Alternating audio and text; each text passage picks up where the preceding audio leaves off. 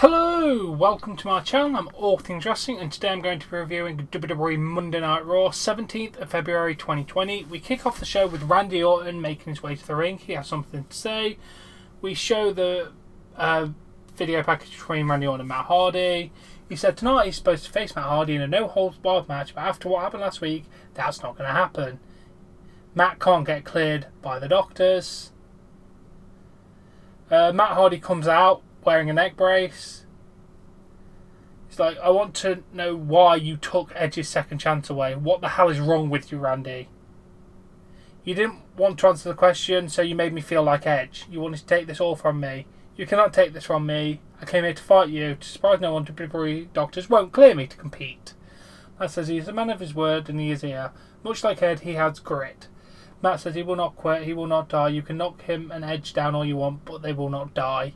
Matt says his future will not be determined on your terms. They will be determined on his terms. Uh, Randy says Matt should said goodbye last week when he could still walk out the arena on his two feet. Matt gets on the apron. Randy uh, is like, "What are you gonna do? You're a sitting dog. What happened if I RKO'd you right now?" Randy says, "You have balls, but no one will understand why he did what he did. I respect you for what you've done. I respect Edge and loved him like a brother. I'm sorry. I'm truly sorry. Walks off.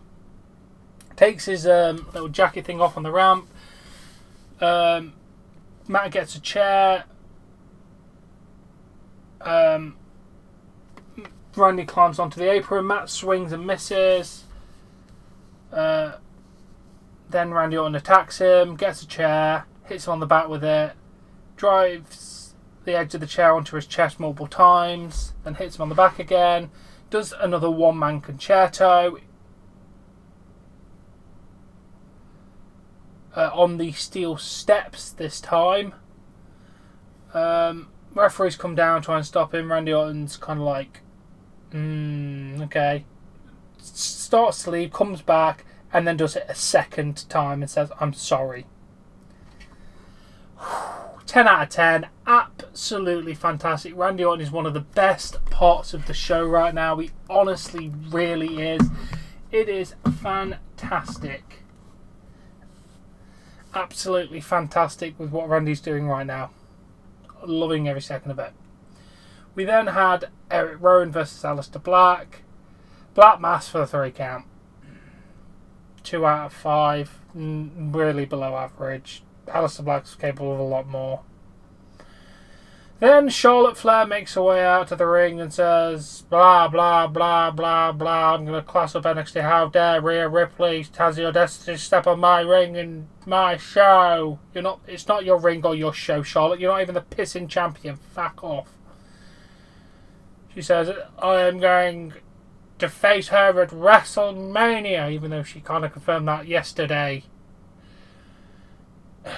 Charlotte is just annoying at this point. She just drones on about the same random crap. I'm not ever enjoying any of Charlotte's promos at this point. I'm going to give it a 1 out of 10.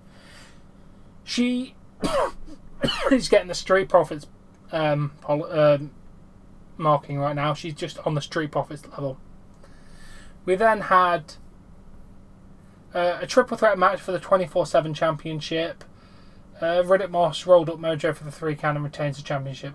A match between R Truth, Mojo Rawley, and Riddick Moss. I forgot to mention that. Um, not going to rate it because it was barely anything. But good on Riddick Moss for getting another good win. After the match, Yojo, Mojo uh, yells at R Truth, and R Truth with a kick and a scissor kick. Nice little bit of R Truth getting some good stuff out of that in the end. Then we have Drew McIntyre make his way to the ring. He said, uh, Come WrestleMania, I'm going to invade Suplex City and demolish that bitch to the ground with uh, a Claymore and become WWE Champion. Paul Heyman comes out, teases that Brock Lesnar's here, which he wasn't. He's like, You thought you were going to be here. Um, yeah, just goes on and on about that. Drew tells Paul to wait there. He says Brock's name over and over. You can say it anywhere. You can say what Drew uh, say it when Drew kicks his head off and becomes a WWE champion. Paul says he found respect for Drew. He did not come here to debate Drew. He is a huge admirer of his talents. He knows someone who is not a admirer of yours and he is your opponent tonight. It's MVP. MVP tells Drew, Mr. Heyman might not have an issue with you, but I do. As an old friend, he invited Drew to the VIP lounge. He treated Drew with respect of an elite level VIP. He thought we were friends, but how did you repay me?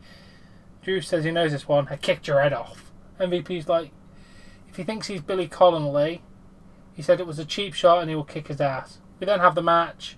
Claymore, three count, not going to rate it, but I'm going to rate the overall segment a 8 out of 10 because it made Drew look pretty damn good actually, which is what we need to do. We need to keep building up Drew as a big monster force and have him win the championship at WrestleMania. For the love of God, do not let Brock Lesnar retain.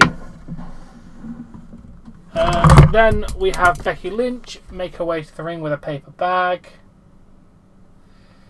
Uh, she says only animals go for the neck. They do it when they go after weak prey. Um, she tells Shayna to look at the face of the longest reigning Raw Women's Champion in history. Does she look like prey to you? She has run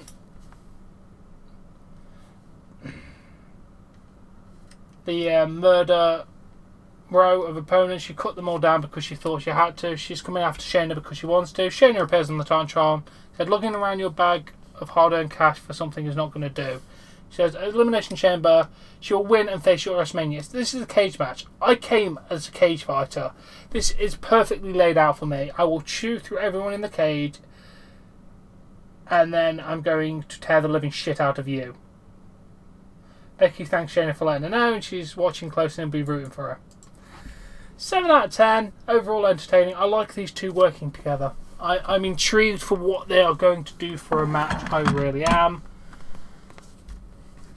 Then we have a match Rusev and Humberto versus Bobby Lashley with Lana and Angel Garza with Zelina Vega. Uh, Garza with a roll up and a handful of ties for the three count. Bobby Lashley and Angel Garza win. After the match, Rusev attacks Garza and knocks him off the turnbuckle. Overall, the match is going to get a 2.25, slightly below average. What do you really expect? They're burying Rusev very hard here at this point, and I'm not impressed. After this match, we have a Kairi Sane versus Natalya match. Uh, Asuka with a round kick to the temple. The referee starts count and gets 10. Kairi Sane wins. Saying that's going to celebrate Kairi's victory.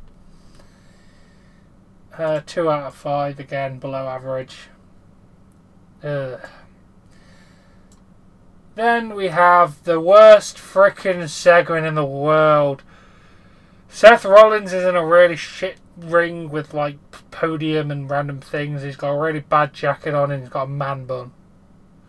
He goes on about being the Monday Night Messiah, and he's here's his seminar, and he's gonna go on to phase two of his plan because he's vanquished the Viking Raiders, Samoa Joe, and Kevin Owens, and blah blah freaking blah.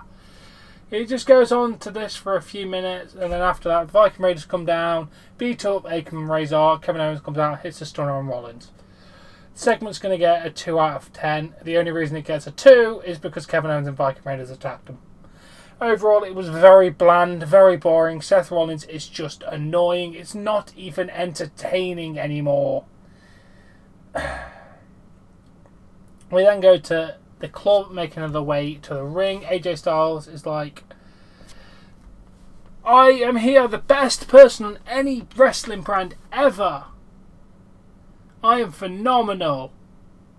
Who's next? I don't care who it is as long as the WWE Championship available. It doesn't matter who it is. It could be Drew McIntyre, it could be Brock Lesnar, it could be Ricochet, it could be Shawn Michaels, it could be Razor Ramon, it could be Sting, it could be Hulk Hogan. He said he will show his dominance at Super Showdown. Ricochet interrupts and says, AJ says, Little Ricky, hold on. AJ says he was joking when he mentioned your name. AJ says he was being nice. He was being nice to a lot of people. No one believes you're going to be WWE champion. What have you done to deserve a championship match? Want a number one contention match. Ricky says he didn't mad at AJ for thinking he doesn't deserve a title match. He said he earned his title match. I will beat Brock Lesnar. What if you're not sold on me? Well, let's have a match right now. Karl's like, no, no, no, no. You can challenge me. AJ's not facing this non-good brother in his first match back. So we have Ricochet versus Karl Anderson. Ricochet with a super kick followed by a fireman's carry for a three count. Going to give it a 2.75 out of 5. Slightly above average match. Good win for Ricochet. Uh, then we go to Charly Caruso with Liv Morgan. She was asked about Ruby Riott's comments from last week. She says, excited anyone when Ruby came back. In the moment, a Russian moment, a rush of emotions when Ruby came out to celebrate a victory as one of the most uh, great moments of her career. She then threw it aside, threw her friendship aside, and that was enough to break anyone. Not long ago it would have broken me, but I'm not a puppy on a leash as she described. I'm comfortable in my own skin and I'll be looking at things with a clear eye. I'm going to Elimination Chamber. I'm going to eliminate Ruby Riott and move on to the Women's Championship match at WrestleMania. 6.5 out of 10. They're adding a bit of depth to the character of Liv Morgan, and I'm liking it. We then go to the main event Erik Ivar and Kevin Owens versus Akam Rezar and Buddy Murphy. Why does this feel like a rehash again? Um, Kevin Owens with the stunner, but Rollins breaks up the cover. DQ win for Kevin Owens and the Viking Raiders. Match is going to get a, a 2 out of 5. After the match, Rollins directs traffic. He says, This is what happens when you uh, step in the way of progress. This is what happens when you impede his vision. He tells Kevin that he'll crucify him since day one it's time to crucify you. Street Profits make their way to the ring. Um, Rollins uh, retreats. Um, and then Kevin Owens, the Viking Raiders, and Street Profits take control and win the brawl. Ugh, God damn it. This Raw was. Mm, it had some good moments, but overall it was a bit. Yeah. The show started strong, progressively got worse as the night went on. Gonna give this show a 4 out of 10. Below average show but still not as bad as SmackDown is most of the time. Yeah, anyway, that has been my review. If you have enjoyed it, please smash that like button, share and subscribe, and I shall catch you all later. Bye.